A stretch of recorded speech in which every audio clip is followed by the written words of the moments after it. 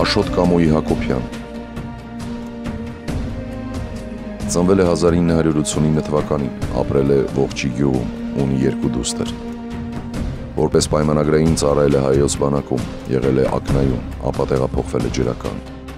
Կրվել է շրջափակման մեջ եւ զոհվել հոկտեմբերի 2-ին։ Հանուն հայրենիքի։ Մարմինը գտնվել է 4 ամիս անց։